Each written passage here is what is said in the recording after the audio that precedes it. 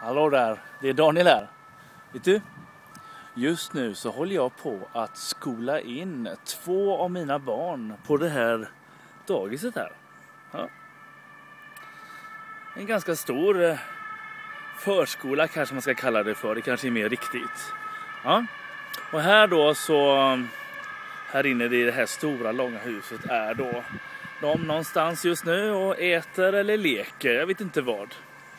Och jag håller mig här då lite undan just nu så att de ska vänja sig successivt med att det faktiskt bara är de som ska vara här i regel utan min närvaro. Men så finns man ju här för trygghets skull om eh, det är så att de skulle behöva en.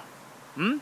Så det är bra tycker jag. Jag tycker det är alltid härligt att få vara med barnen lite grann så här och eh, samtidigt ska det också bli gött att kunna få kanske lite friare tider under veckan där man kan jobba med men det som man behöver göra som inspiratör i ungdomsas. Yes. Men vet du? Jag tänker på det här med att eh, lämna in barn så här på förskolan och skola in dem.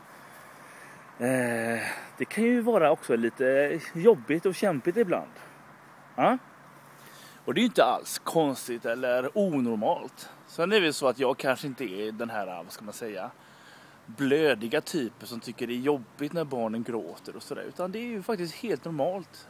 Det är en del av livet att vara rädd och kanske lite ledsen och att få prövas lite grann i förtroende och sådana saker. För jag menar, för, även för oss föräldrar så handlar det ju om förtroende. Att lämnar vi dem här så måste vi också ha förtroende för förskolan och självklart då för de eh, människor som tar hand om dem. Förskollärare och barnskötare och sådär. Eller hur? Men då tänker jag just så här att, eh, jag menar, barnen är ju som du vet ett av det viktigaste och det kanske mest, mest känslomässigt starka och djupa i våra liv. Och det innebär ju att vi lägger ju ett förtroende i dessa vuxna människors händer. Ett stort förtroende för dem. Att de sköter det de är sagda att göra. Då tänker jag så här också, det här med förtroende. Alltså vilket förtroende har vi, eller du och jag, för Jesus? Är det så att du och jag, vi är, om man säger så, beredda att lägga hela våra liv i Jesu händer? Eller är det så att vi lägger vissa delar av våra liv i Jesu händer? Och sen kanske vi tänker både medvetet och omedvetet men just de här bitarna de får jag ta hand om själv för, för det, det, det fixar inte Jesus eller jag litar inte på att han gör det bra.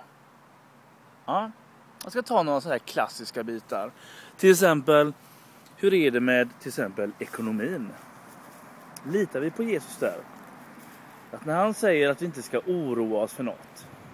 Att vi faktiskt ska säga allting som vi önskar och längtar efter i våra liv.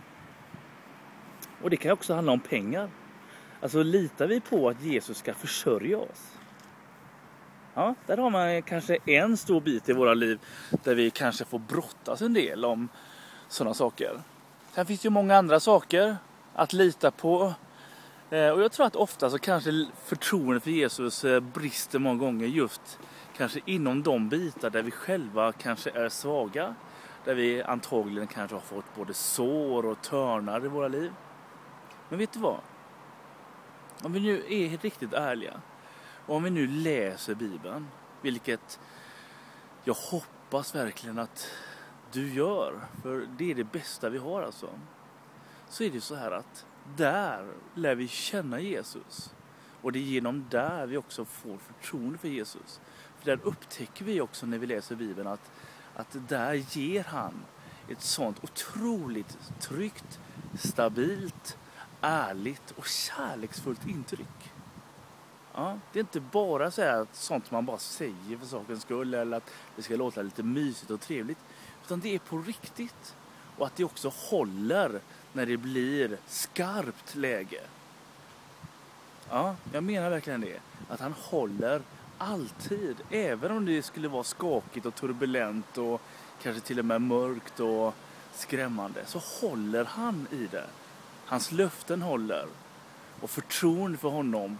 Jag lovar dig Att det, det, det tappar vi inte när vi ser att det bär genom allt.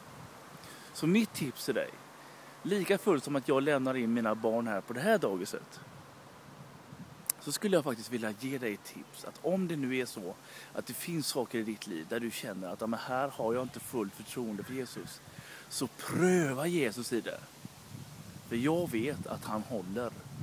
Och jag önskar att du ska få erfara det, uppleva det på riktigt. Ja. Så har det gott nu och testa och låt dig själv utmanas av Jesu löften i Guds ord. Ha det gott. Aye.